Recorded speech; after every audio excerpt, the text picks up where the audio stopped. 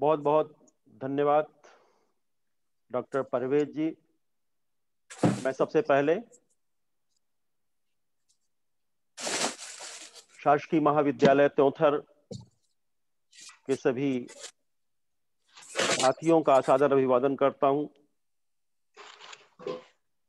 Doctor Dhruv Dikshit ji, Madhyanchal sociological society के सचिव, doctor Vasudev ji, doctor Swati Shukla ये सब जुड़े हैं सभी का मैं स्वागत करता हूँ सारे बच्चों का आ, स्वागत करता हूँ।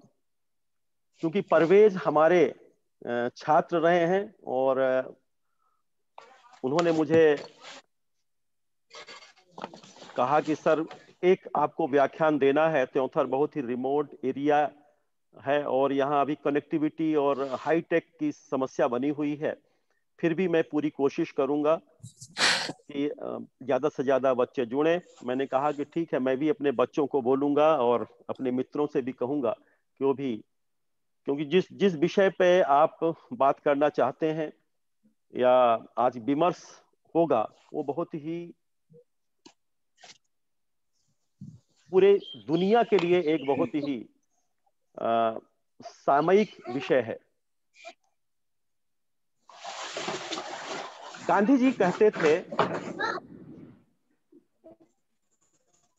सबसे पहले मैं सबको म्यूट कर देता हूँ ताकि व्यवधान कोई न आए। व्यवधान कोई न आए।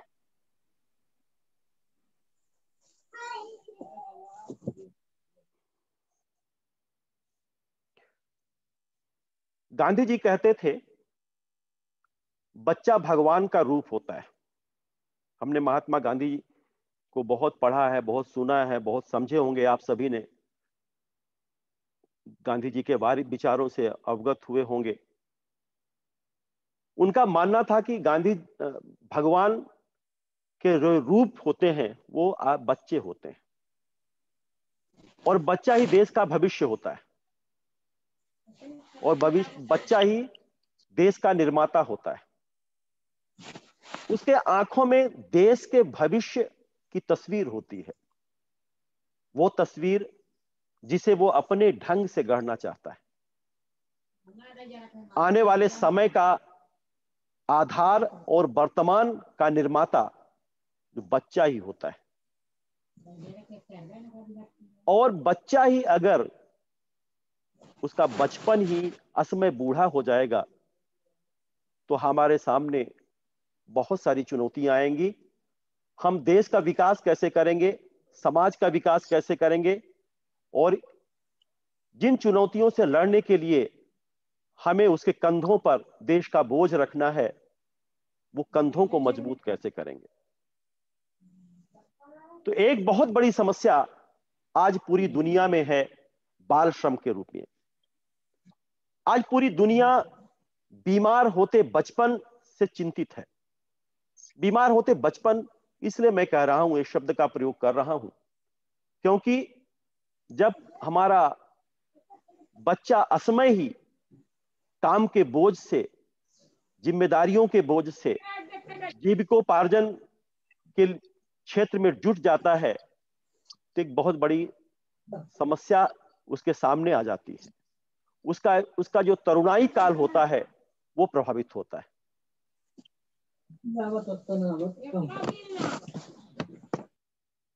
तो ये जो बच्चों का भविष्य के बारे में जो चिंता पूरी दुनिया को हो रही है, उसी के परिप्रेक्ष्य में आज हम कुछ अपनी बातें करेंगे। अभी एक चाइल्ड लेबर इंडेक्स की एक रिपोर्ट आई है और इस रिपोर्ट ने बहुत चौंकाने वाले आंकड़े दिए इन्होंने बताया है कि दुनिया में किस तरह से बाल श्रमिक पूरी दुनिया में भर रहे हैं।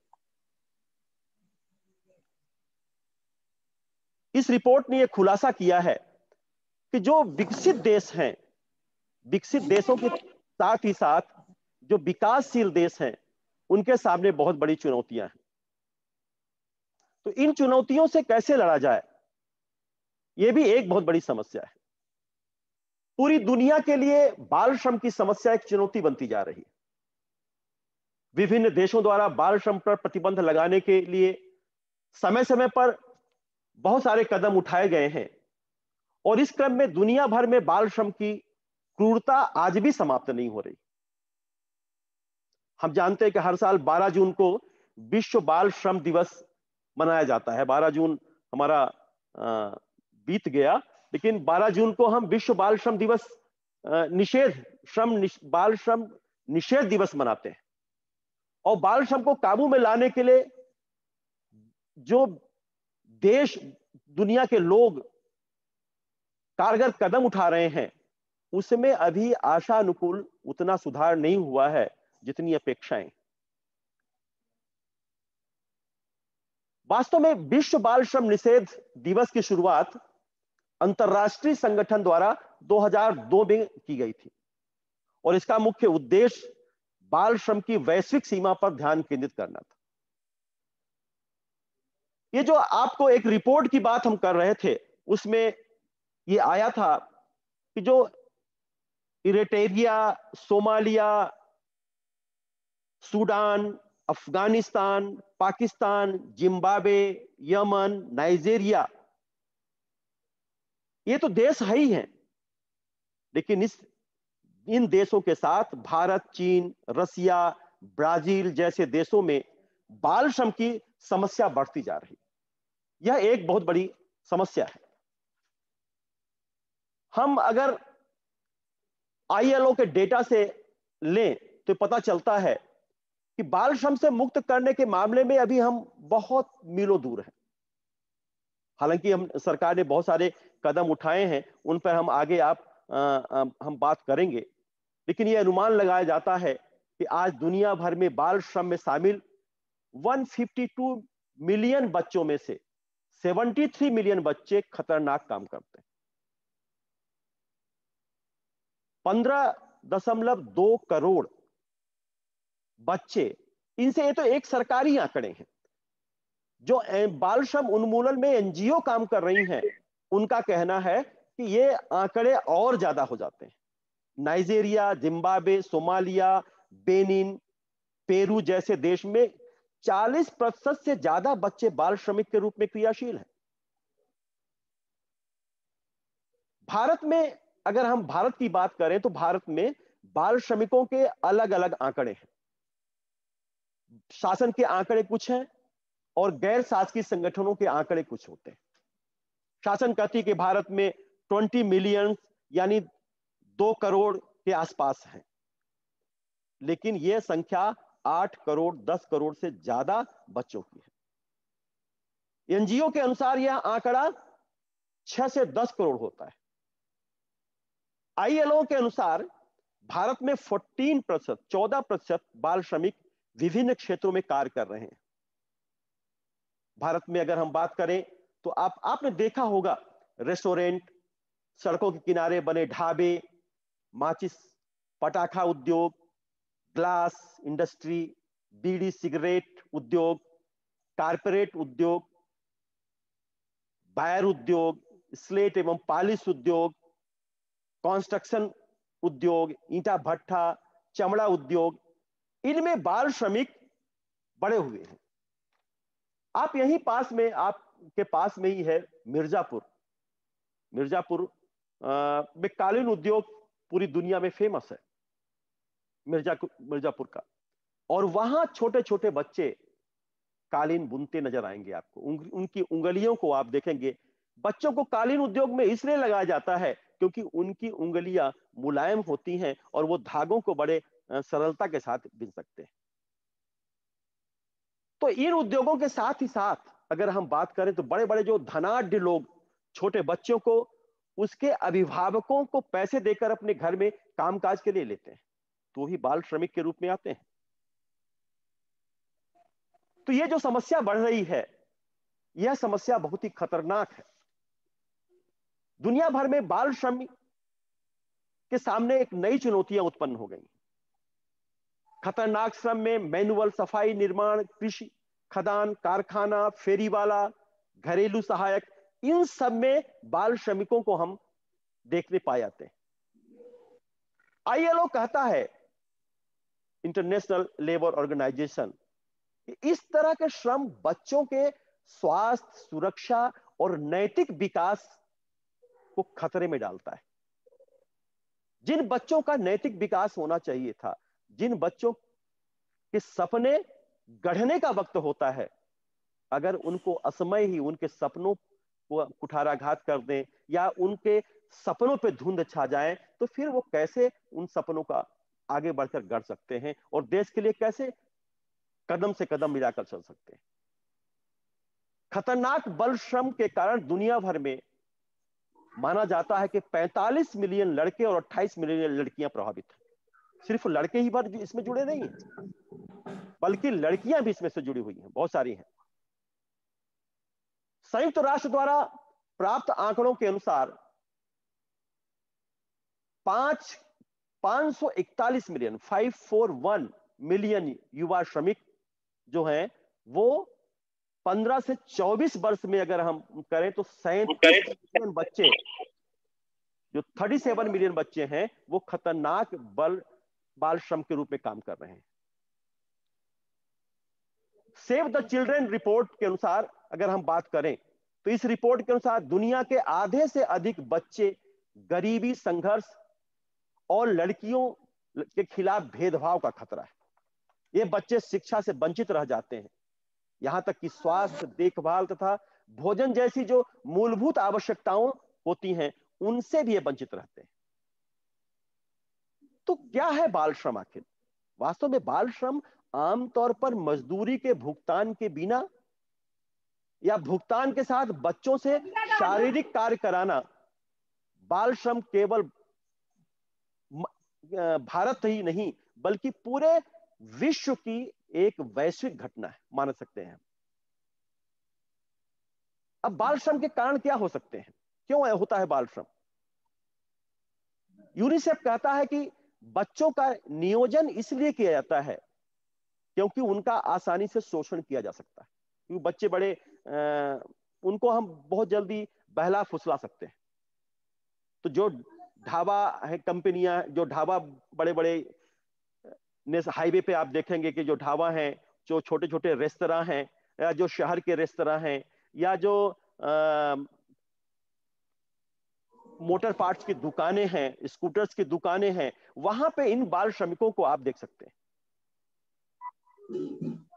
भारत में आदिकाल से ही बच्चों को ईश्वर का रूप माना जाता रहा है, लेकिन वर्तमान परिदृश्य इस सोच से काफ़ी भिन्न है। ऐसा नहीं कि अगर हम बाल श्रम के इतिहास को देखें तो अगर हम चाणक्य को पढ़ें, चाणक्य ने भी बाल सेवकों जैसे शब्द का उपयोग किया है। लेकिन वो बाल सेवक होते थे जो गुरुकुल या गुरु आश्रम में जो है वो सेवा करते थे। लेकिन आज जो बाल सेवक हैं जो आज के सेवक हैं वो अपने श्रम से अपने परिवार के पूंजी का एक हिस्सा बने हुए हैं। तो बाल ऐसा नहीं कि बाल श्रम के खिलाफ बहुत सारे अभियान नहीं चलाए गए। बाल श्रम और भा, आ, के खिलाफ भारतीय संविधान में भी बहुत बातें कही गई। संवैधानिक व्यवस्था भी की गई। संवैधानिक व्यवस्था के अगर हम देखें तो भारत का संविधान मौलिक अधिकार और राज्य के नीति निर्देशक सिद्धांतों की विभिन्न धाराओं से कहता है कि 14 साल से कम उम्र के कोई भी बच्चा किसी फैक्ट्री या खदान में काम करने के लिए नियुक्त नहीं किया जा सकता और न नियुक्त किया जाएगा। राज्य अपनी नीतियों इस तरह निर्धारित करेंगे। ये बताया गया है कि श्रमिकों, पुरुषों और महिलाओं का स्वास्थ्य उनकी क्षमता सुरक्षित रख सके, तथा बच्चों की कम उम्र का शोषण न हो सके और आर्थिक आवश्यकताओं की पूर्ति के लिए वे अपनी उम्र व शक्ति के प्रतिकूल काम में प्रवेश करें। संविधान लागू होने के 10 साल के भीतर राज्य 14 वर्ष तक की उम्र के सभी बच्चों को मुफ़्त और अनिवार्य शिक्षा देने का प्रयास करेंगे। यह हमारे संविधान में कहा गया है। धारा 45 में यह बात कही गई। वास्तव में समय समय पर बहुत सारे प्रयास हुए। बहुत सारे कानून बने। फैक्ट्री कानून 1948 बना। यह कानून चौदह वर्ष से कम उम्र के बच्चों को नियोजन को निषिद्ध करता है। वो कहता कि नहीं, चौदह वर्ष से कम उम्र के बच्चे कभी भी श्रम नहीं करेंगे। पंद्रह से अठारह वर्ष तक के किशोर किसी फैक्ट्री में तभी नियुक्त किए जा सकते हैं जब उनके पास किसी अधिकृत चिकित्सक या फिटनेस का प्रमाण पत्र हो। तो ये बातें कही गई लेकिन इसके बावजूद भी बहुत सारी चीज़ें हमारे आ, सामने ऐसे आई कि कुछ ऐसी आवश्यकता और समस्याएँ इन बाल श्रमिकों के सामने आई पारिवारिक, जिनके कारण वो मजबूर होकर के बाल श्रम के रूप में जुटने लगे। बहुत सारे अध्ययन हुए हैं। बाल श्रम पर अनेक अध्ययन हमारे समाजशास्त्रियों ने अनेक अध्ययन किए हैं। जे एन कुल, कुलश्रेष्ठ हैं, जिन्होंने 1978 में अध्ययन किया था, the child labour in India. और इन्होंने बताया था कि निर्धनता ही मुख्य कारण है। इन्होंने तो इस बात का भी उल्लेख किया था कि बहुत सारे ऐसे जो धनाढ़ वर्ग होते हैं, जो कि बच्चों को खरीद लेते हैं। या कभी कभी होता है कि जो, जिन बच्चों के पेरेंट्स पैसे लिए होते हैं और वो मालिकों को पैसे समय पर नहीं दे पाए तो वो बच्चों को अपने यहाँ काम पर लगा देते हैं। सिर्फ़ खाना देते हैं और उनको पैसे भी नहीं देते हैं, ब्याज पर वो बच्चे काम करते रहते हैं। गुरुपत स्वामी ने एक बहुत रिपोर्ट जो पेश की थी, जिसकी बात अभी परवेज ने भी किया था ministry of labour government of India की जो रिपोर्ट प्रस्तुत की थी, उसमें बहुत सारे चौंकाने वाले आंकड़े दिए थे। B N Juyal child labour the twice exploited उन्होंने वाराणसी में हैंडलूम व्यवसाय, करीब साढ़े छह सौ बच्चों पर अध्ययन किया था, और उन्होंने बताया था किस तरह से हैंडलूम व्यवसाय में बच्चे लगे हुए हैं। हम्म। और 9 से 12 घंटे काम करते हैं इन हैंडलूम व्यवसाय में। और उसके पीछे जो उन्होंने बताया था कि जो मुख्य कारण था वो था निर्धनता। इसी तरह से रमेश कालवर्गी 1991 में एक अध्ययन किया था। और ये अध्ययन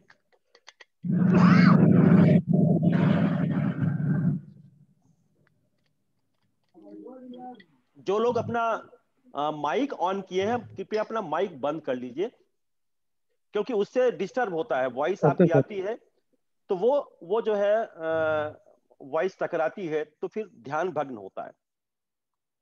तो ऑनलाइन में सबसे बड़ी आ, बात यही होती है कि जब हम दूसरे की बात को सुने जब मौका मिले तो फिर हम अपनी बात कहें। तो अभी तो आपको ध्यान से सुनना है। तो जो हम रमेश कालवर्गी की बात कर रहे थे, कि एक अध्ययन उन्होंने किया था, और उन्होंने चार चीज़ों पे फोकस किया था, निर्धनता, अज्ञानता, अशिक्षा और जनसंख्या वृद्धि। इन चार कारणों को उन्होंने माना था कि जो बाल श्रमिक हैं, ये इन चार कारणों से, के कारण बाल श्रमिकों के लिए मुख्य रूप से उत्तरदायी है। इसी तरह से यस, विजय गोपालन ने भी एक अध्ययन किया था child labour in carpet industry और उन्होंने जो रिपोर्ट किया था वो भदोही ज़िले पे बेसिक था। जो अभी बात हम कर रहे थे कि भदोही जिला वाराणसी और मिर्जापुर के बीच में जिला है जो कारपोरेट कारपेट इंडस्ट्री की बहुत बड़ी आ, मंडी मानी जाती है। और उन्होंने 500 बाल श्रमिकों पर अपने अध्ययन किया था। और यह पाया था कि अनुसूचित जाति एवं मुस्लिम जाति के बाल श्रमिक वहाँ ज़्यादा थे। क्योंकि इनकी जो घरेलू स्थिति, आर्थिक स्थिति बहुत ही कमज़ोर थी। 35 परसेंट पूर्वी उत्तर प्रदेश एवं 11 परसेंट बिहार के जो बाल श्रमिक थे, वहाँ पे रह रहे थे, वो काम कर रहे थे।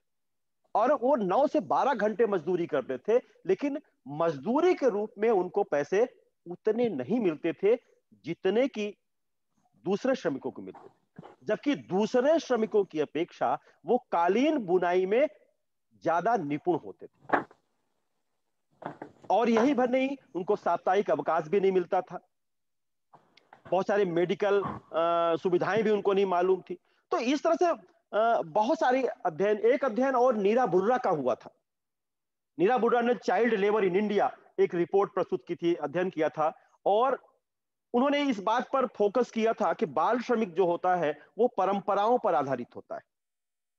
उन्होंने कहा था बहुत सारे ऐसे परिवार हमें देखने को मिले जहाँ की वो परंपरागत उन, उनके बच्चे किसी न किसी सेवक के रूप में वो काम कर रहे हैं। माता और पिता तथा कार्य कुशलता अनुशासन ये ये सारी चीज़ें जो है उनसे जुड़ी हुई थी। बंधुआ मजदूरी जहाँ बच्चे श्रम के बदले जमींदारों के यहाँ कैद किए जाते थे। वो भी एक समस्या बनी हुई थी। तो इस तरह से बाल श्रम पर बहुत सारे अध्ययन हुए हैं। और हर अध्ययन में इस बात का खुलासा किया गया है कि ये जो बाल श्रम है, वो कहीं ना कहीं निर्धनता, अशिक्षा, अज्ञानता से जुड़ा हुआ है। विभिन्न देशों की अगर हम बात करें, सिर्फ़ हिंदुस्तानी भी नहीं, पाकिस्तान में भी, इस कालीन उद्योग में बहुत सारे बच्चे जुड़े हुए हैं। श्रीलंका में चाय की पत्तियों, चाय के बागान में बहुत सारे बच्चे जुड़े हुए हैं। इंडोनेशिया में तंबाकू का कार्य बहुत सारे छोटे बच्चे करते हैं। और वो इतना खतरनाक होता है कि इंडोनेशिया में कि बच्चे तंबाकू का प्रयोग बचपन से शुरू कर देते हैं। और इससे उनके हेल्थ उनके स्वास्थ्य समस्या पर भी बहुत ज़ोर पड़ता है। ब्राज़ील ब्राज़ील में संतरे के बाग में इन बाल श्रमिकों को देखा जा सकता है। बांग्लादेश में टी शर्ट के उद्योग में इन बाल श्रमिकों को देखा जाता है। थाईलैंड में बैग निर्माण ये बाल श्रमिक रहते हैं। मोरक्को में चमड़ा और हिंदुस्तान में अगर आपको बता दिया कि ये कालीन उद्योग हो गया, और शिव काशी, जो साउथ में अगर आप जाए, पटाखा उद्योग में, जो बहुत सारे बाल श्रमिक का आपको काम करते हुए मिल जाएँगे। तो इस बाल श्रमिकों की समस्या को हमें समझना होगा, और इस, जो इसके कारणों को ढूंढना होगा। तो वो कारण आखिर हैं क्या, जो बाल श्रम को ज़्यादा प्रभावित करते हैं? पहला है पहला हम कह सकते हैं कि जो अभिभावकों की एक जानता या अभिभावकों की मजबूरी भी हम कह सकते हैं। बहुत सारे ऐसे परिवार होंगे, जिन परिवार, जो परिवार आर्थिक रूप से बहुत ही संपन्न नहीं होंगे। और आप जानते हैं कि ये जो आर्थिक समस्याएँ जब मनुष्य को चारों ओर से घेरती हैं तो हम नैतिक और अनैतिक इन चीज़ों, इन मूल्यों को दरकिनार कर देते बुभुक्षिता किम न करोति पापम। भूखा मनुष्य कोई भी पाप कर सकता है। और कभी कभी बच्चे, बहुत सारे ऐसे बच्चे भी अध्ययन में मिले देखने में, जिन्होंने ये कहा कि हम अपने परिवार की स्थिति को जब देखते थे तो लगता था कि हम भी उनके आमदनी का स्रोत बने, आमदनी के आधार बने। और बहुत सारे अभिभावक ऐसे थे, जबरन जो अपने बच्चों को बाल श्रम की ओर ठेल देते थे। तो ये उनकी अज्ञानता है। उनको स्कूल में भेज करके, उनको दिला करके हम उनको दूसरी तरफ़ भेज रहे हैं। तो ये अज्ञानता भी जो है, एक तरह से उनके सामने एक चुनौती बनी हुई थी। और दूसरा, मजबूरी भी एक चुनौती बनी हुई थी। दूसरी जो सबसे बड़ी समस्या आई कि बाल श्रमिक कानून का सख्ती से पालन न होना।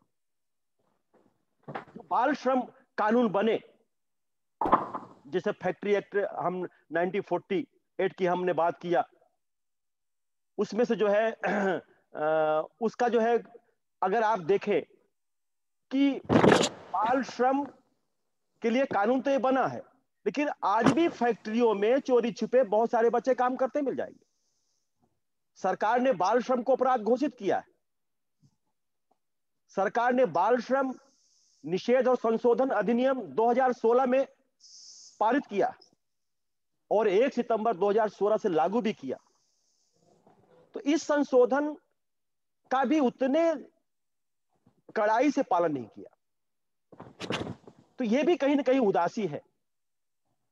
बाल मजदूरी बच्चों के मानसिक, शारीरिक, आत्मिक, बौद्धिक और सामाजिक हितों को प्रभावित करती है। गैर कानूनी कृत्य दिनों दिन बढ़ रहा है।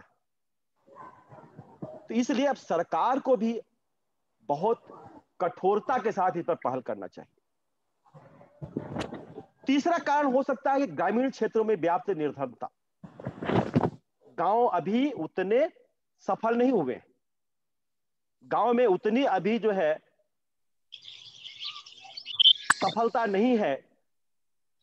उतनी आर्थिक स्थिति मज़बूत नहीं है, जितनी की शहरों या नगरीय क्षेत्रों में देखी जाती। तो ये जो निर्धनता है, ये निर्धनता भी हमें बच्चों को काम करने के लिए प्रेरित करती है। और पेरेंट्स मजबूर होकर के अपने बच्चों को काम के लिए भेजते हैं। तो निर्धनता भी एक समस्या है। और एक और बात कर सकते हैं कि इसमें उचित सलाह का भी अभाव है। प्रॉपर उनको गाइडेंस अवेयरनेस प्रोग्राम नहीं चला जाता। अगर जन जागरण अभियान चलाया जाए, पंचायतों के द्वारा अभियान चलाया जाए जिला पंचायतों के द्वारा चला जाए, सरकार के द्वारा चला जाए, जैसा कि बहुत सारी योजनाएँ भी चली हैं। हाल ही के वर्षों में बहुत सारी योजनाएँ चलाई गई हैं। बहुत सारे श्रम स्कूल भी, विद्यालय भी बनाए गए हैं। लेकिन कोई भी योजना जब चलती है तो कुछ समय तक तो बहुत ही तेज़ी के साथ उसका प्रयास होता है। लेकिन धीरे धीरे धीरे धीरे शिथिलता आ जाती। है और ये ये शिथिलता जो है, ऐसा नहीं कि सरकार ने कल्याणकारी योजनाएँ नहीं चलाई। बहुत सारी कल्याणकारी योजनाएँ चलाई हैं। बहुत सारी एनजीओ, स्वयंसेवी संस्थाएँ। इसके बावजूद भी देश में बाल श्रमिकों की स्थिति बद से बदतर हो रही सरकार द्वारा सन उन्नीस सौ अठासी में बाल मजदूरी खत्म करने के लिए राष्ट्रीय बाल श्रम परियोजना प्रारंभ की गई थी। इसके तहत बाल श्रम से सभी बच्चों को बाहर करना, जो इसका मुख्य उद्देश्य था कि बाल श्रम से सभी बच्चों को बाहर करना, उनका पुनर्वास करना, उन्हें शिक्षा की मुख्य धारा से जोड़ना। लेकिन सरकार की यह योजना भी अन्य कल्याणकारी योजनाओं की तरह शिथिल हो गई। जितनी मुस्तैदी, इतनी तेज़ी के साथ हमें प्रयास करना चाहिए था या इस योजनाओं को लागू करना चाहिए था, वो नहीं। अनेक कानून बनाने के बावजूद भी आप अपने रोज़मर्रा की ज़िंदगी में देखते होंगे, जब आप होटल जाते होंगे, मोटर पार्ट्स की दुकान जाते होंगे छोटे छोटे उद्योगों में जाते होंगे तो देखते होंगे कितने बाल श्रमिक हैं। सड़क के किनारे जो ढाबे बने हैं वहीं पे अफसर भी चाय पी रहे हैं, वहीं अफसर भी खाना खा रहे हैं, होटल में भी हैं। तो वो बाल श्रमिकों की एक लंबी कतार आपको देखने को मिलेगी। राज्य सरकारों ने बाल, सरकारें बाल मजदूरों की सही संख्या नहीं बताना चाहती कोई भी सरकार हो, और न जानना चाहती है। राज्य सरकारों ने बाल मजदूरों के लिए विशेष स्कूल खोल दिए लेकिन इन स्कूलों में बाल मजदूरों की संख्या बहुत कम रहती है। वो कहते हैं कि हम स्कूल जाएँगे, हमारे बच्चों को भेज देंगे। तो जो दो पैसे की आमदनी हो रही है, वो हमारे परिवार की आमदनी अवरुद्ध हो जाएगी। और इससे जो है हमारी आमदनी प्रभावित होगी, हमारा परिवार। तो बहुत सारे परिवार के सामने भी ये समस्याएँ हैं। इन समस्याओं का जो है, हम कर सकते ग्लोबल चाइल्ड हुड रिपोर्ट जो 2019 में आई। उनमें बताया गया था कि एक सौ छिहत्तर देशों में भारत एक हज़ार में से केवल 769 769 स्कोर के साथ 113वें स्थान पर था। बचपन सूचकांक का अंत हो गया। 28 मई 2019 को सेव द चिल्ड्रन द्वारा जारी किया गया सूचकांक एक बहुत चौंकाने वाले आंकड़े प्रस्तुत करता है। उसने बाल मृत्यु दर, कुपोषण, शिक्षा की कमी, बाल श्रम अर्ली मैरिज इन सब पे बहुत ही चौंकाने वाले आंकड़े प्रस्तुत किए। तो जो सरकार द्वारा पहल की जा रही है, वो पहल को हमें बहुत ही कठोर रूप से लागू करना होगा। सरकार बाल श्रम को पूरी तरह से समाप्त करने के लिए एक समग्र और बहुस्तरीय रणनीति का रणनीति को बनाना होगा। और जब समग्र रणनीति बनेगी, कड़ाई के साथ हम पालन करेंगे, तभी बाल श्रम दूर हो सकता है। बाल श्रम का एक और कारण है कि जनाधिक्य पॉपुलेशन ग्रोथ हो रहा है। हमारे देश में आप देख रहे हैं कि जनसंख्या कितनी तेज़ी के साथ बढ़ रही है। और जनसंख्या शास्त्री जो आंकड़े, जो भविष्यवाणी कर रहे हैं कि अगर यही स्थिति रही तो आने वाले 20 वर्षों में कहीं हम चाइना से ज़्यादा हमारे यहाँ की जनसंख्या न हो जाए। तो जब जनसंख्या इतनी ज़्यादा बढ़ेगी तो निश्चित है वहाँ भी बहुत सारे बाल श्रम हमारे यहाँ जितने बाल श्रमिक जितने बच्चे हैं उतना तो अमेरिका की कुल टोटल पॉपुलेशन जनसंख्या है। तो एक अमेरिका के बराबर जो है हम हमारे यहाँ युवा और बच्चे हैं। तो हमें कहीं बाल श्रमिक क्या हमें कहीं ना कहीं जो है इन इन पर भी अपनी बात करनी होगी। हमें अपनी जनसंख्या जनाधिक को भी रोकना होगा। कुछ न कुछ ऐसी रणनीति बनानी होगी ताकि हम उस रणनीति के तहत अपनी जनसंख्या को भी कम करें। यह भी हमें देखना होगा। बेरोजगारी भी एक कारण है। बेरोजगारी भी एक समस्या है। और ये बेरोजगारी समस्या हर क्षेत्र में दुविधा उत्पन्न कर रही है, चुनौतियाँ उत्पन्न कर रही अब आप देखिए जो अभी ये पैंडेमिक आया, ये कोविड नाइनटीन इसने बहुत सारी समस्याएँ उत्पन्न कर दी। सिर्फ़ विकसित लोग नहीं, चाहे वो ऊँचे ऊँचे वर्ग हो, चाहे मध्यम वर्ग हो, चाहे निम्न वर्ग हो। तो जब उच्च वर्ग मध्यम वर्ग प्रभावित हो रहा है तो निम्न वर्ग जिसके जो अभावों की ज़िंदगी जीता है जिसके पास अभावों की दुनिया है उसके सामने समस्याएँ तो आई इस कोविड में बहुत सारे बच्चे जो है इन कोविड 19 में बहुत सारे बच्चे जो है बाल श्रमिक जो आए इन इन्होंने अरे भाई अपना वो बंद कर लो तुम।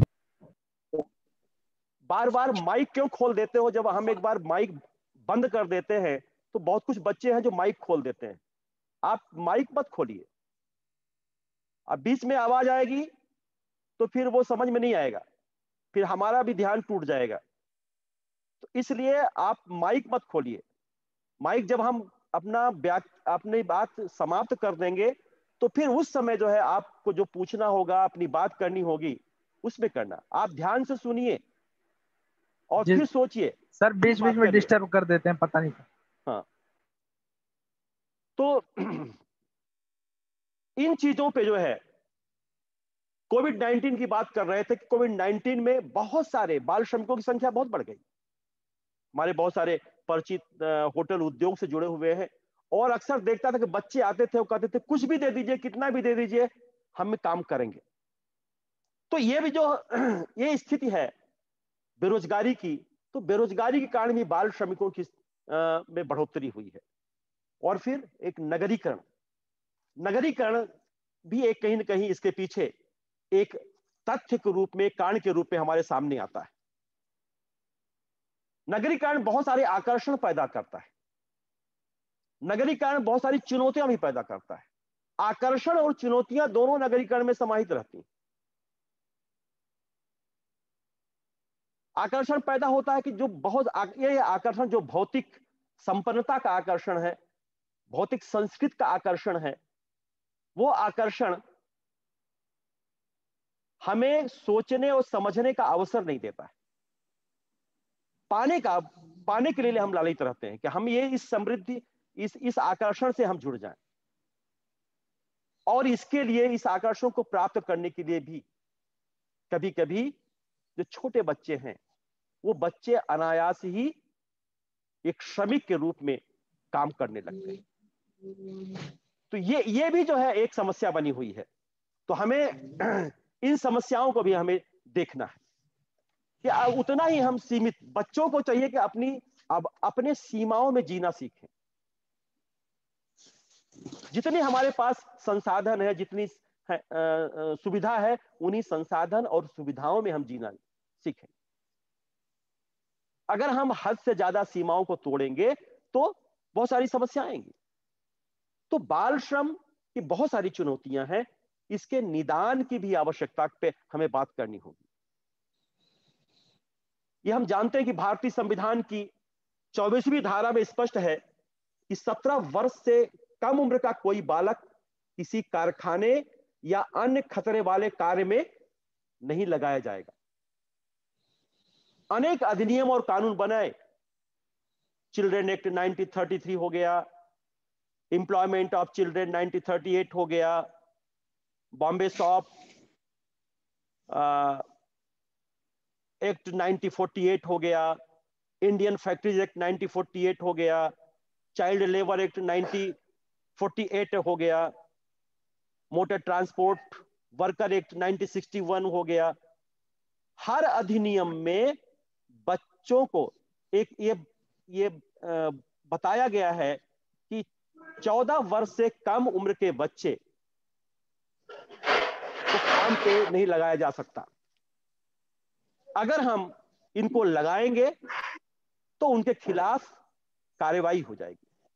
लेकिन इसके बावजूद भी आप देखते हैं, आपको बहुत सारे बच्चे सुबह इस इस ठंड में भी हम देखते हैं रीवा के स्लम्स एरियाज़ में जो छोटे छोटे बच्चे हैं, जो अपने कांधों पे फटी बोरी रख करके कचरे में, कचरे बिनने नज़र आते हैं, बोतलें बिलते नज़र आते हैं।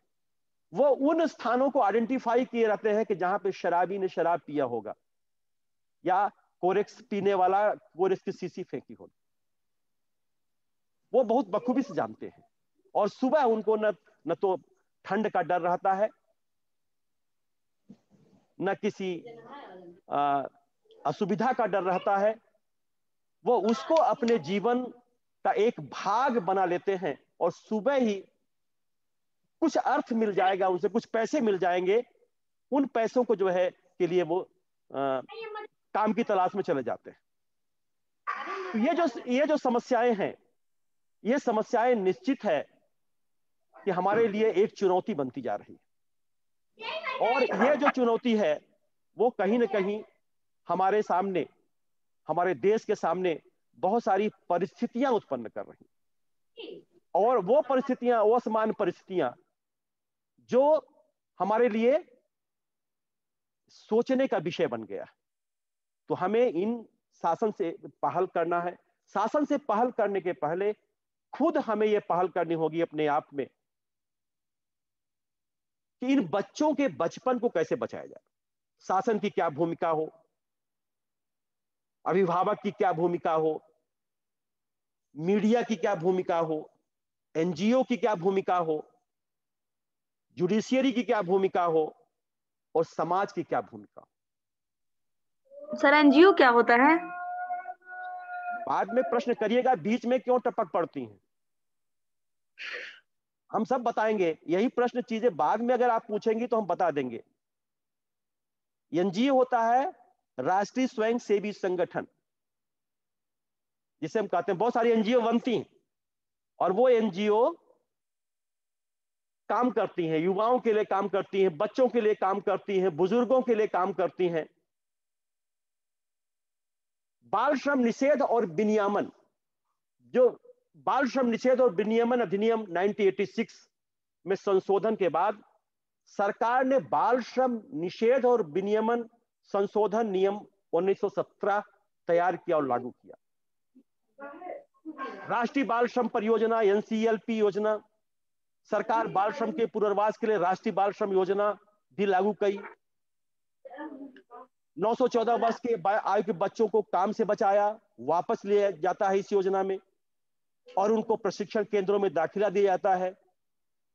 उन्हें ब्रिज शिक्षा, व्यावसायिक प्रशिक्षण, मध्यान्ह भोजन, वजीफा ये सारी चीज़ें सुविधा उपलब्ध कराई जाती है। लेकिन ऐसे संस्थानों में बहुत कम बच्चे हमें देखने को मिलते हैं। आपको न के बराबर वो बच्चे देखने को मिलेंगे, उनमें से। तो इन बच्चों को जो है,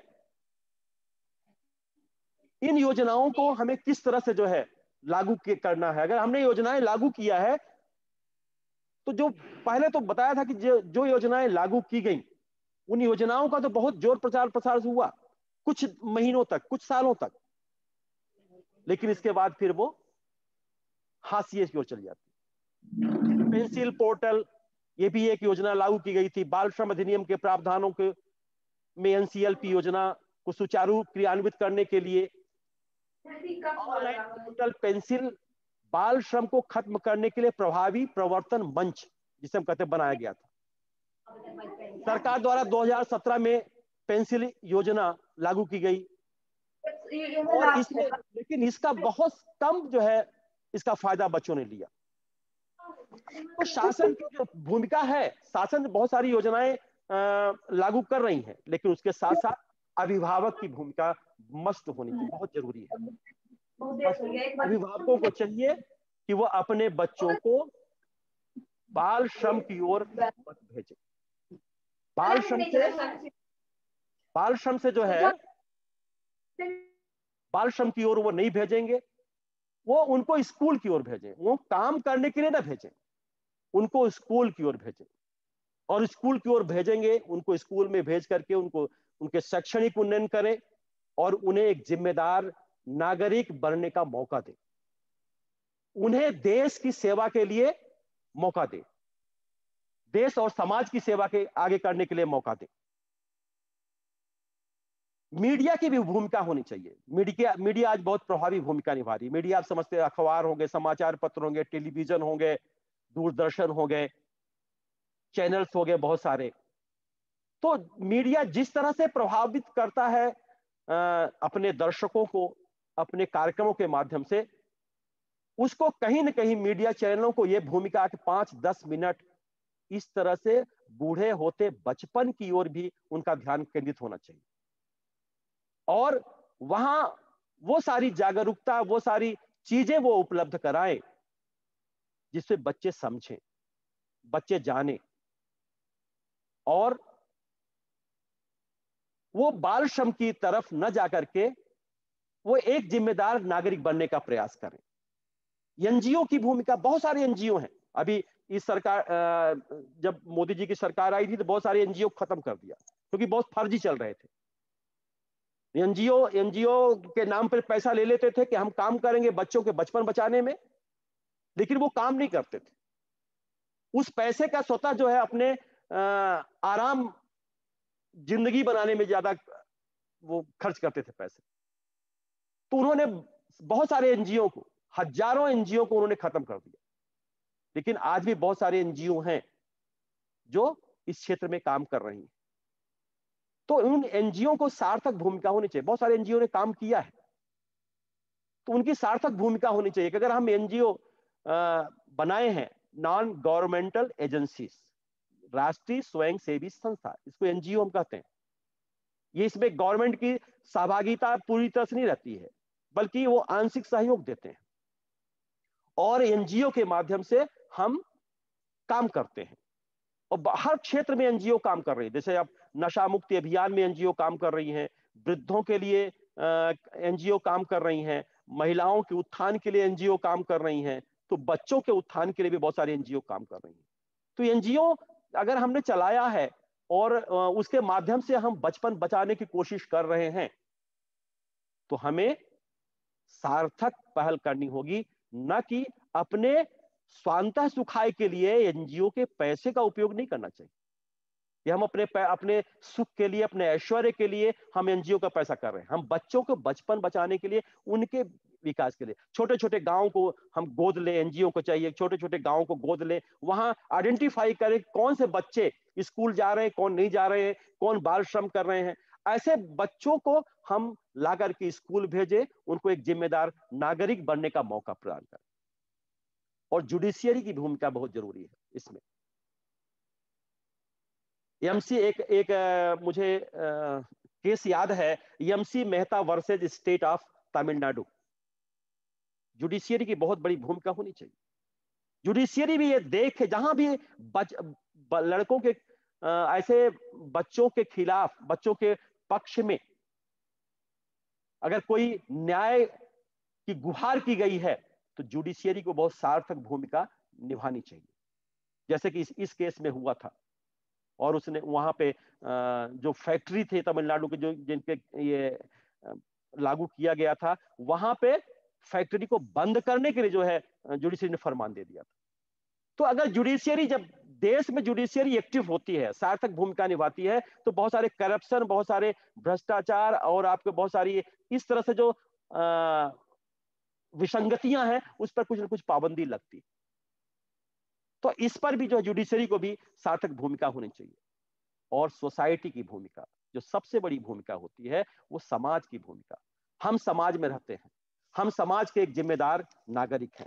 ऐसे नहीं कि हमने हमने जो है बच्चे, हमारी कोई भूमिका नहीं है। चाहे हम टीचर हो, चाहे हम स्टूडेंट्स हो, ऐसे बच्चे हम अगर हम देखें कि ऐसे बच्चे हैं जो बहुत ही गरीब है बहुत शोषित है तो ऐसा नहीं कि हम कुछ पैसे दे करके उनको भीख दे करके और उनको दया का भाव दिखा रहे हैं बल्कि उनके उनको मोटिवेट करें उनके पेरेंट्स को मोटिवेट करें कि आप अपने बच्चों को पढ़ाइए। अब तो सरकार ने शासन ने बहुत सारे आपको फ्री आ, सारी सुविधा दे रही है मध्यान्ह भोजन भी दे रही है। तो आप बाल श्रम होटलों में या कारखानों में अपने बच्चों को मत भेजिए, बल्कि आप स्कूल में भेजिए। और स्कूल में भेजेंगे तो निश्चित है कि उसके जो है सार्थक पहल होगी और वो वो भी एक देश के एक गौरवशाली नागरिक बन पाएँगे। वो भी उन देश के लिए कुछ सोचेंगे, आगे चल करके देश के विकास में वो कदम से कदम मिलाएँगे। तो ये जो ये जो समस्याएँ हैं बाल श्रमिकों की इसमें कठिनाइयाँ तो बहुत सारी हैं। बाल श्रम के जो आ, हम कानून बनाए हैं बहुत सारी जो स्थितियाँ हैं कि जो कठिनाइयाँ हमारे सामने आ रही हैं लेकिन उन कठिनाइयों को ऐसा नहीं कि कठिनाइयों को हम निकाल नहीं सकते। दुनिया के आज की दुनिया में मजदूरों की बहुत सी सुविधाएँ प्राप्त हैं। उनके कार्य के घंटे निर्धारित हैं, उनकी कार्य दशाएँ काफ़ी हद तक संतोषजनक है। और यह सब अचानक नहीं हुआ, बल्कि इसके पीछे संघर्ष की एक लंबी कहानी है।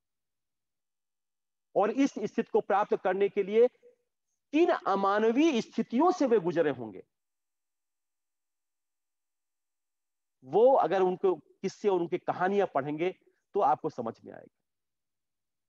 तो हमें आज बचपन को बचाना है। इन ये बच्चे जो शिवाकाशी के आतिशबाजी के उद्योग में काम करते हैं या फिरोजाबाद के कांच के कारखानों में काम करते हैं, हमारे सभ्य होने की सार्थकता पर प्रश्न चिन्ह लगाते हैं। चाय बागानों में पत्तियाँ तोड़ती बालिकाएँ, होटलों और ढाबों पर जूठे बर्तन मांजते बच्चे, भदोही के कालीन उद्योग में अपनी आँखों की रोशनी खोते बच्चे, हमारी समस्त प्रगति पर एक बहुत बड़ा सवाल उठाते इनके शोषण को रोकने के लिए हमें कुछ पहल करनी होगी हमें नीतियाँ बनानी होगी तभी हम इन चुनौतियों से हम निजात पा सकते हैं और असमय बूढ़े होते हुए बचपन को हम रोक सकते हैं। यही आ, हमारी आ, हमारे आज विमर्श का एक भाग है और मुझे विश्वास है कि इस बाल श्रम की जो चुनौतियाँ हमारे सामने हैं उन चुनौतियों के लिए आप भी सार्थक पहल करेंगे और उन बच्चों को आप आइडेंटिफाई करेंगे जो बच्चे आज भी स्कूल जाने से वंचित हैं या उनको उनके पेरेंट्स अभिभावक नहीं भेज रहे हैं, उनको मोटिवेट करेंगे और जिस दिन आपने ऐसा काम कर लिया तो निश्चित है आपकी उस दिन ये जो एक आप गौरवशाली राष्ट्र के, आप भी प्रणेता के रूप में जाने जाएँगे। बहुत बहुत धन्यवाद आप सबको कि आपने कुछ बातें हमारी सुनी। और अब आपके कोई प्रश्न हो, कोई चर्चा हो तो आप अपनी बात कह सकते हैं। धन्यवाद सर, बहुत बहुत अच्छा विमर्श रहा, बहुत अच्छे विचार रहे आपके। अब सबसे पहले जैसा सर ने कहा, जितने बच्चे जुड़े हुए हैं, जिनके मन में कुछ उत्सुकता हो, आज के विषय को लेकर बारी बारी से जो है तो सर से प्रश्न कर सकते हैं। खासतौर पे जो बच्चे जुड़े हुए हैं। सर। हाँ नीरज। सर मेरी हाँ हाँ आवाज़ आ रही है बोलो। एक एक करके सुनिए एक एक करके बताइए। एक एक करके। बोलो सर- नाम बताओ अपना बोलो। सर मेरा नाम नीरज मैं बीए थर्ड ईयर में बोलो नीरज। और ये जो बाल श्रम है सर अगर ये बाल श्रम सही दिशा में अधिकारियों और ग्रामीण क्षेत्र में रहने वाले जो लोग हैं हम्म, जब सही से कार्य करेंगे तभी इसे रोका जा सकता है। अन्यथा कागज़ पे तो चलता रहता है भारत सरकार में। हाँ सही बात कर रहे हैं कि दरअसल में हम कानून और अधिनियम बहुत सारे बना देते हैं संविधान में बहुत सारे प्रावधान किए गए हैं। लेकिन अगर हम मानसिक रूप से मानसिक रूप से परिपक्व नहीं होंगे तो हम नहीं रोकेंगे। जी, सर। भले ही हम आंकड़े बढ़ाते रहे कि हाँ इतने बच्चे हमने भेजा और ऐसे बहुत सारी रिपोर्ट फेक रिपोर्ट बनती है झूठी रिपोर्ट बनती है कि हाँ इतने बच्चे यहाँ यहाँ कोई बाल श्रम नहीं है। ये चुनौती दे दी जाती है कि ये उसी तरह से जैसे ओडीएफ हुआ था ना एक बार के शौच मुक्त। गाँव हो गए हैं। लेकिन पता चला जी सर लेकिन वहाँ लोगों ने फ़ोटो खींचा के बहुत सारे लोग सुबह ही ले लेकर के पानी वो चल दिए है मैदान की तरफ़। तो दरअसल में हमें क्या है मानसिक रूप से जी जब सर तक पूरी परिपक्व तरह नहीं होंगे। देते हैं। हाँ, मानसिक रूप से जब तक जी, हम परिपक्व नहीं होंगे जी। जी जी ध्रुव जी। ध्रुव जी ने भी बहुत अच्छा काम किया है बाल श्रम पर और ये कुछ अपनी बात करना चाह रहे हैं मैं इनको आमंत्रित करता हूँ हाँ। महेश जी क्या है कि बाल श्रम एक कलंक तो है देश के लिए और समाज के लिए, लेकिन उसके साथ सबसे बड़ी समस्या क्या है बाल श्रमिक जो है लोगों के घरों की रोजी रोटी का साधन है। बहुत से परिवार अपने, हमारे हर में आप देखते हैं कि बच्चों के कारण ही पूरा परिवार चलता है। अगर वो बच्चे अलग कर दिए जाएँ, सरकार कह ज़रूर रही है कि हमको शिक्षा का शिक्षा कर रही है, लेकिन अगर पूरी तरह से हम अलग कर देंगे तो परिवार भी संकट में आ सकता है। ये एक बड़ी समस्या उनके साथ ये है। हाँ ये ज़रूर है कि जो खतरनाक उद्योग हैं, जैसे खनिज उद्योग हैं, बारूद पटाखा निर्माण इकाई हैं या मोटर मैकेनिक है, क्लीनर है, इन सबसे पूरी तरह से प्रतिबंधित कर दिया जाए। लेकिन छोटे मोटे जो काम हैं, उसमें इनको अलग ना करके इनके सरकार को ये प्रयास करना चाहिए कि कम से कम इनके लोगों को जो है, उनको रोज़गार उपलब्ध कराए। तो उससे बाल श्रम बहुत तो नहीं, लेकिन बहुत कुछ अंतर आ सकता है। क्योंकि अगर अभी हम पूरी अलग कर देंगे, हालाँकि बाल श्रमिक रखना पूरी तरह से गैर कानून कोई भी रख नहीं सकता, कोई भी संस्थान।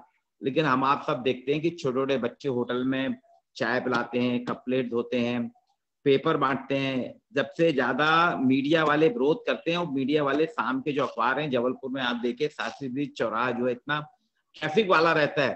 शाम वाले पेपर जो है छोटे छोटे बच्चे ही बांटते हैं, जो गाड़ियाँ निकलती उनको देते हैं। जबकि मीडिया का ही ज़िम्मेदारी कम, उनको अपने यहाँ तो बच्चे नहीं रखना चाहिए, उसमें पुलिस वाले भी निकलते हैं, कलेक्टर महोदय भी निकलते हैं, लेकिन कभी भी किसी ने रोका नहीं। किराने की दुकान में देखिए बच्चे काम करते हैं। तो ये सारे दुकानें जिसमें हमारा सबका आना जाना है, लेकिन कोई रोकता नहीं है। तो यहाँ ऐसे उद्योग या ऐसे कार्य जहाँ पे खतरा नहीं है, वहाँ इन बच्चों को अलग करा जा सकता है, करना भी चाहिए। और इनके परिवार के लोगों को उनके घर के जो 18 साल से बड़े बच्चे हैं उनके घर में भाई वगैरह हैं या पिता वगैरह हैं उनको रोज़गार दिया जाए तो कुछ हद तक समाधान हो सकता है। हाँ, नहीं सही कह रहे ये हैं। मेरे को बताना था वो मैंने बताया। नहीं नहीं बहुत बहुत अच्छी बात आपने अ, किया है। और सच में दरअसल में अगर कुछ ऐसे जगह है जहाँ बच्चे काम कर सकते हैं लेकिन इन बच्चों को काम के घंटे तय किए जाए। दो घंटे, चार घंटे चार घंटे काम कर सकते हैं। और इनके लिए शासन को चाहिए कि इवनिंग क्लासेस शुरू किए जाए। शाम को क्लासेस कुछ इस तरह से प्रोग्राम तय किया जाए कि वहाँ बच्चे जाकर के वो कुछ सीखें, कुछ पढ़े और ताकि वो आगे बढ़ करके, जैसे आगे बढ़ेंगे तो उन, वो भी अपने आप में समर्थ बनने का प्रयास करेंगे। तो ये सही बात है कि ध्रुव जी ने बहुत अच्छी बात कही कि बहुत सारे ऐसे परिवार हैं जहाँ की रोज रोट, रोजी रोटी के ये सहारे हैं। बहुत सारे बच्चे हैं जो सहारे हैं रोजी रोटी के हैं। और उम, आपने पढ़ा होगा कि एक बच्चा जो है वो संतरे अपना जूस दुकान बेचता था और पिताजी के रिक्शा चलाते थे तो रिक्शा के ऊपर वो बैठ करके रात को स्ट्रीट लाइट पे के में वो पढ़ता था और वो फिर आईएएस के एग्जामिनेशन में बनारस का लड़का वो आईएएस के एग्जामिनेशन में सफल हुआ। तो ऐसे भी बच्चे होते हैं कि जिनके जिद होती है तो बच्चों को भी हम कुछ इस तरह से मोटिवेट करें कि नहीं ठीक है तुम ए, एक घंटे काम कर रहे हो दो घंटे काम कर रहे हो हम तुमको मना नहीं कर रहे हैं। लेकिन उसके साथ साथ उनको जो है ऐसी सुविधाओं से न वंचित किया जाए बल्कि उनको पढ़ने और पढ़ने लिखने का मौका दिया जाए उनके लिए अलग से क्लासेस चलाई जाए तो निश्चित है कि उनके अंदर भी सामर्थ्यता पैदा होगी। और वो भी एक अच्छे नागरिक बनने का पूरा प्रयास करेंगे।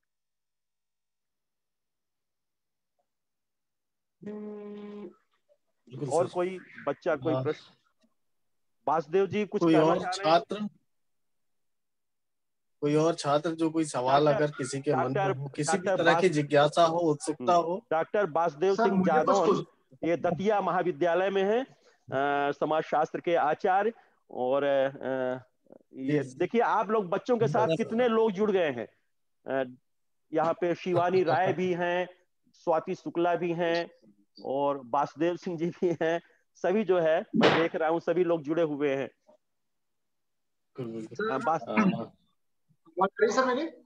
हाँ हाँ सर ऑनलाइन पहले सर इस आयोजन के लिए सर बहुत बहुत धन्यवाद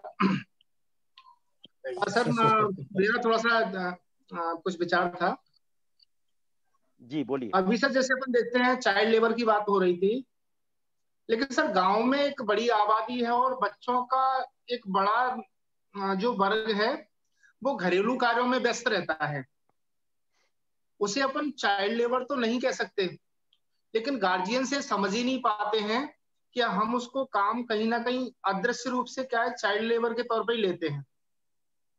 जो ग्रामीण स्कूल रहते हैं, वहाँ पर उनका जो ड्रॉप आउट रेशो है, वो काफ़ी कुछ बढ़ जाता है या मुझे नहीं लगता कि एक्चुअल डाटा भी सर आ पाते होंगे।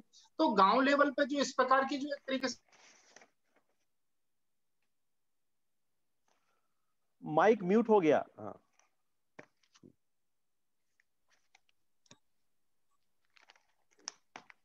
हेलो हाँ हाँ। सर आवाज़ सुन पाए आप मेरी? हाँ हाँ आप सुन रही सुनाई सुन रहे हैं आप। जो सर गाँव लेवल पे जो बहुत सारे बच्चे हैं जो स्कूल नहीं जा पाते और वो भी प्राइमरी वाले। जैसे हम्म। जो नई शिक्षा नीति है उसमें इस चीज़ पर बड़ा ज़ोर दिया गया है। लेकिन जो आंगनबाड़ी जो केंद्र है जिनको अपन बालवाड़ी बोलते हैं तो अगर गाँव लेवल पे सर बच्चों को कैसे इन्वॉल्व किया जा सकता है? जो प्राइमरी एजुकेशन है जो मिडिल एजुकेशन है उसमें से।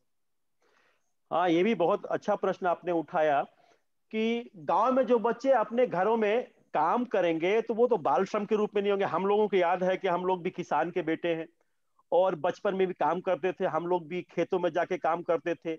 हम लोग कटाई में भी भले ही संपन्न परिवार रहा हो, लेकिन जाते थे, हाथ बटाते थे। जानवरों के लिए स्कूल से आते थे और जानवरों के लिए जो है, वो मशीन से जो है चारा और घास काटने का जो है, हम लोग को दिया जाता था। तो वो तो वो तो बाल श्रम नहीं है। ड्रॉप आउट की प्रॉब्लम आज भी गाँव में है। तो अगर सरकार कुछ ऐसी योजनाएँ गाँव में ही विकसित करे कि ऐसे बच्चों को आइडेंटिफाई करके उस गाँव में कोई ट्रेनिंग प्रशिक्षण का केंद्र बनाया जाए कि उन बच्चों को हम शिक्षा के साथ साथ प्रशिक्षण भी देते जाए। तो निश्चित है कि भले ही वो बच्चे, बहुत सारे ऐसे बच्चे होते हैं जो स्कूल जाते हैं और स्कूल जाने में मन नहीं लगता उनका और ड्रॉप आउट छोड़ देते हैं, बहुत सारी समस्याओं का छोड़ देते हैं वो। तो अगर ऐसे बच्चों को हम गाँव में ही ऐसे प्रशिक्षण केंद्र बनाए, सरकार बनाए और संभवतः नई शिक्षा नीति में ये सारे अवसर दिए जाएँगे और बताए गए हैं कि बच्चों को बचपन से ही स्कूल, आंगनबाड़ी को इतना सशक्त बनाया जाएगा कि वहीं उनको प्रशिक्षण भी दिया जाएगा। तो अब आज आप देख रहे हो कि आंगनबाड़ियों की स्थिति आज क्या है वो आप देख रहे हो बहुत सारे आंगनबाड़ी ऐसे हैं जो सिर्फ़ बोर्ड पे चल रहे हैं। लिखा हुआ है आंगनबाड़ी केंद्र और वहाँ कुछ नहीं। सिर्फ़ वो नाम पे चल रहे हैं। तो अगर शासन भले ही कुछ योजना बना दे, लेकिन अगर हम ईमानदारी के साथ उसको क्रियान्वित नहीं करेंगे तो फिर ये ये सारी स्थितियाँ कैसे संभलेंगी? तो हमें गाँव में, ऐसे बच्चों के लिए गाँव स्तर पर ही प्रशिक्षण या पंचायत स्तर पर प्रशिक्षण केंद्र की स्थापना करनी होगी, ताकि उन बच्चों को जो स्कूल छोड़ रहे हैं और नहीं जा पा रहे हैं या नहीं पढ़ना चाहते हैं, और वो शिक्षा के साथ साथ वहाँ पे उनको प्रशिक्षण दिया जाए और उनको उनके रुचि के अनुसार उनके रुचि को भी पढ़ा जाए। बहुत सारे ऐसे बच्चे होते हैं जो कहते हैं कि नहीं मैं तो आ, मोटर चलाऊँगा मैं मोटर मैकेनिक बनूँगा। अगर वो मोटर मैकेनिक बनना चाहता है तो कोई ज़रूरी नहीं है वो भी स्वावलंबी बनना चाहता है तो हम उसको उसका प्रशिक्षण दें। तो अगर ऐसी स्थितियाँ ऐसे योजनाएँ चालू की जाए तो निश्चित है कि इससे बाल श्रम उन्मूलन पर बहुत ही एक विराम लग सकेगा। अच्छा सर एक चीज़ और थी वो बच्चों से जुड़ा हुआ विषय है। क्योंकि सर मेरी भी पूरी परवरिश गाँव में ही हुई है तो सर जो मैंने महसूस किया कि जो हमारे साथ वाले बच्चे होते थे और जो अभी के बच्चे हैं सर जो बच्चे और गार्जियंस के बीच में एक बड़ा गैप सा हो गया है और उसके बीच में आ गया है स्मार्टफ़ोन सर।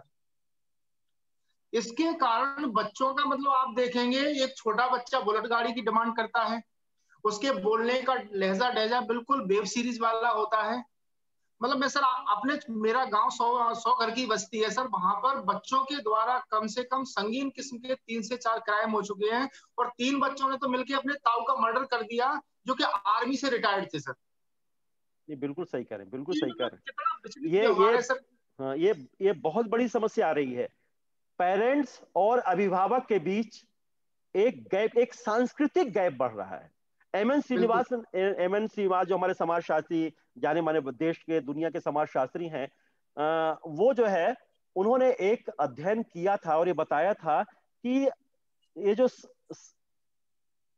एक अलगाव सा जैसे पैदा हो रहा है पेरेंट्स अभिभावक और बच्चों के बीच में एक सांस्कृतिक गैप बढ़ रहा है। और उन्होंने ये चिंता जताई थी कि अगर जितनी भौतिकता हमारे समाज में आएगी मटेरियलिज्म जितना बढ़ेगा ये सांस्कृतिक गैप उतना और बढ़ेगा। क्योंकि हमारी जो पारंपरिक मूल्य थे जो पारंपरिक सांस्कृतिक विशेषताएँ हमारे जो आ, आ, हमारे जो परंपरा है प्रथाएँ हैं मूल्य हैं ये कहीं ना कहीं प्रभावित होगी। आज ये मोबाइल फ़ोन ये बहुत प्रभावित किया है। वो सच बोल अभी सर मैं एक एग्जांपल सर आपको दे रहा हूँ सर।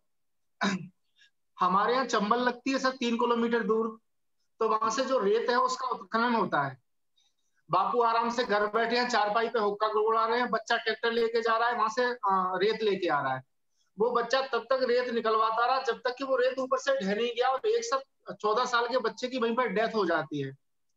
उसी फैमिली का बच्चा एक जयपुर होटल में काम करता है और वहाँ पर एक जो गेस्ट रहता है उसको लूट के वो गाँव में आ जाते हैं सर। आप कहेंगे सर ये तो बदमाश गाँव है सर इतना नहीं? लेकिन अचानक से व्यवहार में बड़ा बदलाव आ रहा है मतलब हाँ ये वही बता रहे कि मटेरियलिज्म क्या है? आकांक्षाएँ चा, चाहते बहुत ज़्यादा बढ़ रही हैं। जी जी। बच्चा जो नगरीय आकर्षण है जो जो जी, जी। भौतिकता के आकर्षण है उस आकर्षण से अपने आप को रोक नहीं सकता। आज आज के बच्चों में कहीं अ, वो ये चीज़ की थोड़ी सी कमी है ये हमने भी महसूस किया है। हम लोग भी मुझे याद है कि मैं जब नौवीं क्लास में गया तब मुझे साइकिल मिली थी। वो भी क्या जब दो तीन दिन जब हम लोग पैदल सात किलोमीटर हनुमाना पढ़ने जा, जाना था और आठवीं तक हम लोग जो है साइकिल नहीं चलाने को हमको लोगों को नहीं मिलती थी। और जब चलाते थे तो ऐसा लगता था जैसे आजकल के लड़के को बुलेट चलाने का पर आनंद प्राप्त होता है वैसे हम लोगों को बचपन में साइकिल चलाने के आनंद प्राप्त होता था। तो अब ये ये बदल गए हैं। बिल्कुल सही कह रहे हैं। ये ये स्थितियाँ बदल गई हैं। तो अब ये जो हमें बच्चों को भी चाहिए कि हम अपने आप को रोकें अपनी आवश्यकताओं को सीमित करें। जब हमारे पास संसाधन आ जाएँ जब हम सक्षम हो जाएँ तब जो है हम उन संसाधनों का उन उन आवश्यकताओं का पूर्ति करें। हम पेरेंट्स के माध्यम से अच्छा बहुत सारे ऐसे पेरेंट्स भी होते हैं जो बच्चा अगर वो एक मोबाइल मांगा है तो उसको महँगा एंड्रॉइड फ़ोन ला करके दे देंगे। तो बच्चों को बिगाड़ने में सर ये ये ये ये कहीं कहीं वो भी भूमिका है। हाँ। बिल्कुल तो एक एक और बच्चा जो है एक एक फ़ोन में कई सिम का प्रयोग कर रहा है। एक नहीं उसके पास दो दो चार चार सिम है। तो हमें अपनी आवश्यकताओं को सीमित करें। अभी हमारी उम्र जो है आवश्यकताओं को सीमित करने की है कुछ बनने की है। अपने अंदर जज्बा पैदा करना होगा कि हम कुछ कर सकते हैं। वो सामर्थ्य पैदा करना होगा। तो इस तभी जो है हम आगे बढ़ सकते हैं। नहीं तो फिर अगर आवश्यकताओं में अभी उलझ जाएँगे हम सांस इन भौतिक संपदाओं में अभी उलझ जाएँगे तो फिर हमारा कैरियर हम आगे नहीं बढ़ा सकते। Thank you sir thank you very much sir और कोई बात? धन्यवाद। और किसी के मन में अगर कोई प्रश्न हो कोई बच्चा आज के विषय विशेष पर जो है कोई प्रश्न करना चाह रहा हो अ, लग रहा है सर कि कोई संतुष्ट है सभी आज के विचार से सभी बच्चे जो है पूरी तरह से संतुष्ट हो रहे हैं। एनजीओ मतलब। सर मुझे कुछ कहना था sir. Doctor Shivani Rai doctor Shivani Rai वो कुछ कहना चाह रही हैं। पहले आप बच्चे जुड़े हैं आप अपना परिचय दे दीजिए। जी सर प्रिंस कुमार सोनकर सर। आपको सादर प्रणाम सर। मैं डॉक्टर शिवानी राय सहायक प्राध्यापक समाजशास्त्र, शासकीय महाविद्यालय हटा जिला दमोह में मैं पदस्थ हूँ। सर, मेरा सवाल तो नहीं है, सर, मुझे कुछ थोड़ा कहना था। मेरे थोड़े विचार थे बाल श्रम के ऊपर।